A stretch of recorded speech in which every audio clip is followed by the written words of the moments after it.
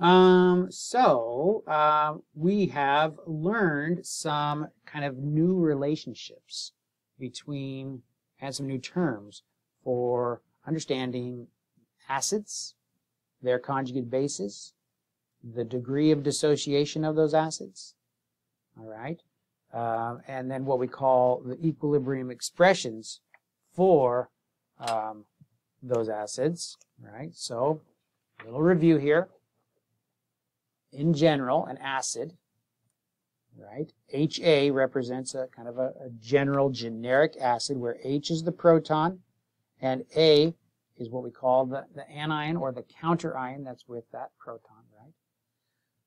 Weak acid, so it does dissociate, but how much does it dissociate? Can you tell me, Brielle, by looking at this, how much is it dissociating? What percentage of it is dissociating? Any ideas? Well, because it has the arrow going back, mm -hmm. so I'm not sure. I know if it was like completely, wouldn't it just have one arrow? That's right. That's right. It's it's too bad we don't have a tool to help us, or maybe a number or something to help us know how much this acid is dissociated, because we see it's reversing. Can you think of any number or tool like that, Jace?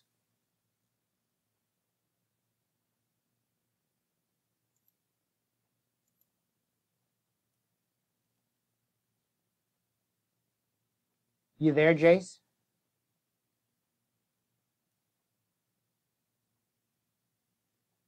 What do you think, Sarah? Any tool or number that might help us know how much this acid is dissociating? Um, I'm just guessing, but um, maybe when we find the K value, how it's the concentration of. That's right. That's okay. what that K value is for. That K value helps us know information about how much of this acid actually dissociates and how much is actually in the associated form. So, Brielle, when we see K equals 0.004, what does that tell us about how much this acid spends in the dissociated form and how much it spends in the associated form? What does it tell us, Brielle?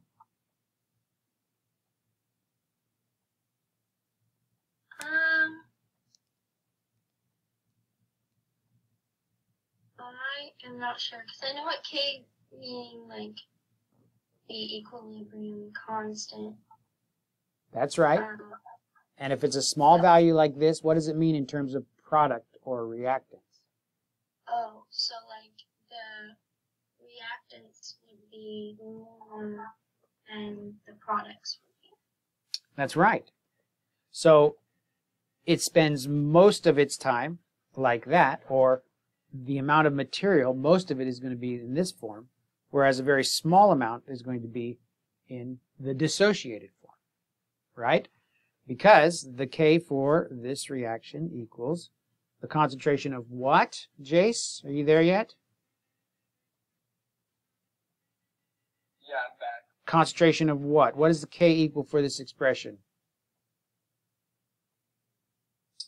Oh, if it's going to be 0.4, like the reactants are going to be a lot bigger than the product. Yeah, okay.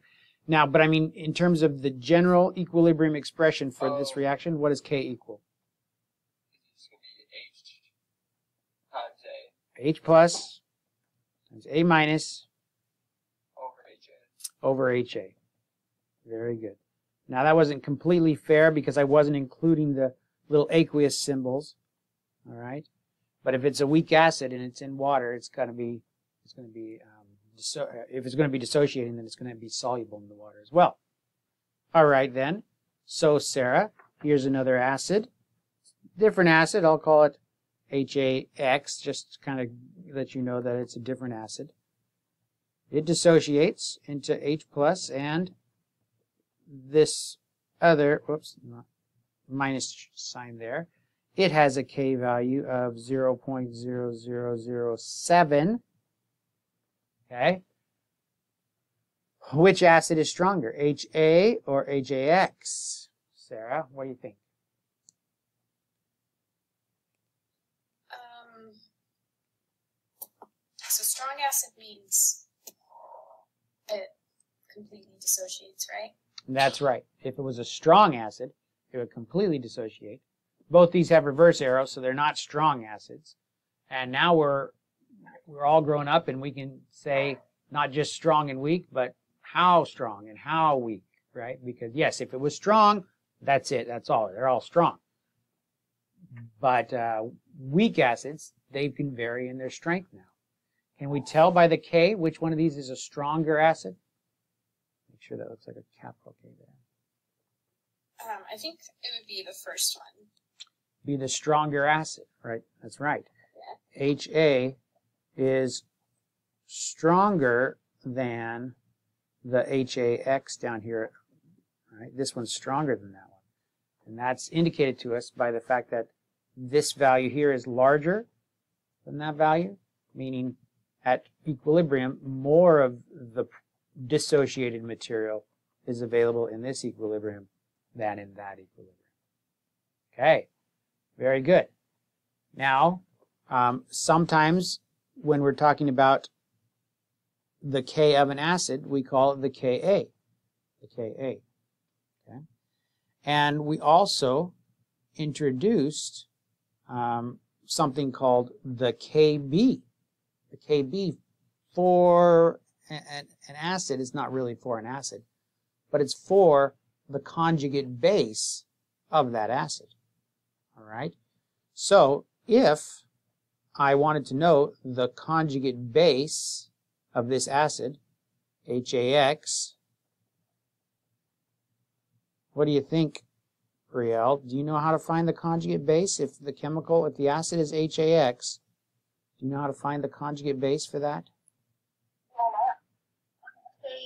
Uh, Ka times Kb to get um, the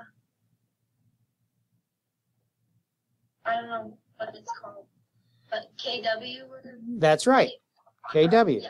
Very good. Ka times Kb gives us Kw. And that was the next question I was going to ask. But back to this question to help other people review who might not remember this. If I have this acid HAX, what is its what is the conjugate base of HAX, Brielle? Do you remember how to do that part?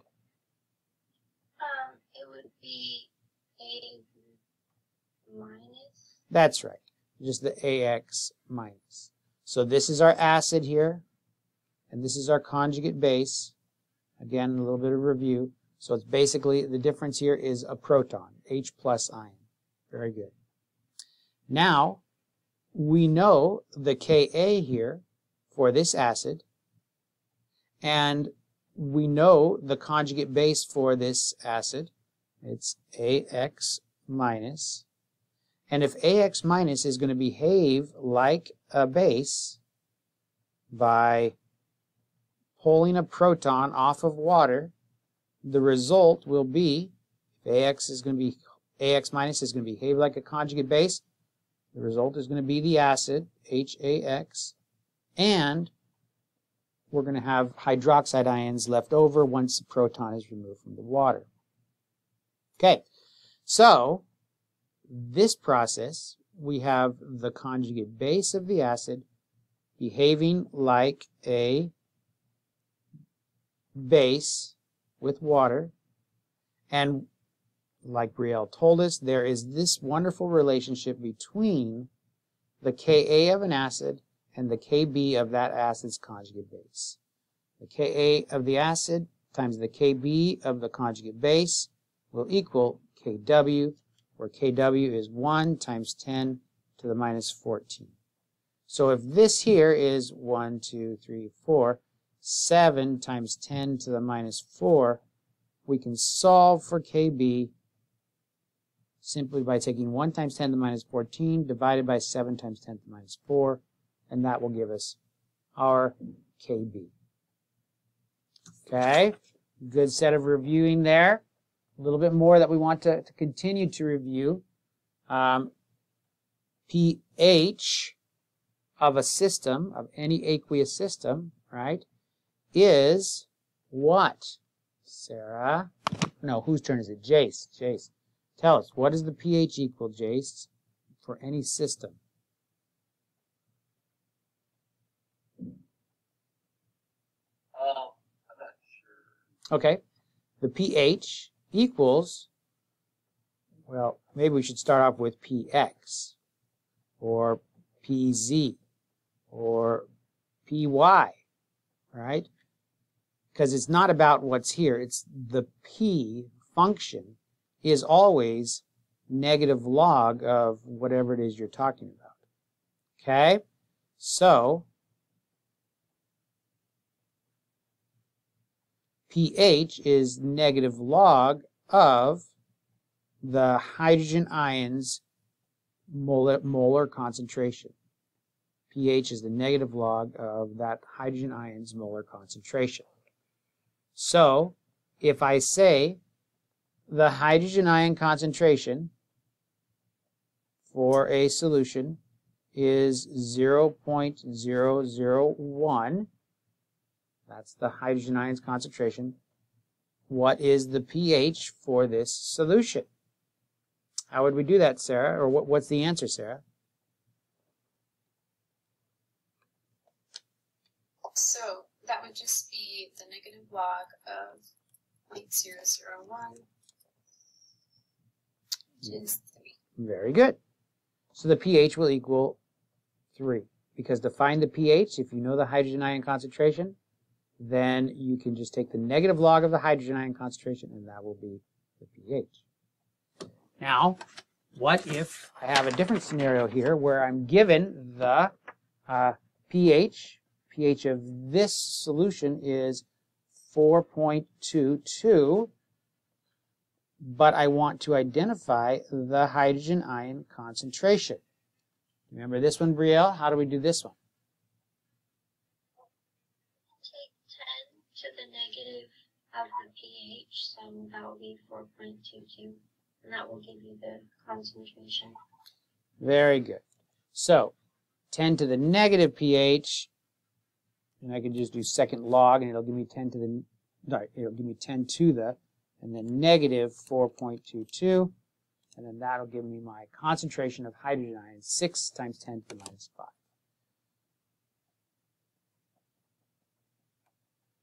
That is my hydrogen ion concentration. Very good. So, from the hydrogen ion concentration, we can get the pH. From the pH, we can get the hydrogen ion concentration. All right. Now, another problem. This is for you, Jace. Here's your problem. If the hydrogen ion concentration equals uh, 3.3 times 10 to the minus 6, what is the POH? Okay, a little bit of thinking involved here. What do you think, Jace? How do we get there? How do we get to the POH? Um, so first of all, we're gonna have to find the pH. So we're gonna do the negative log of 3.3 times 10 to the negative 6.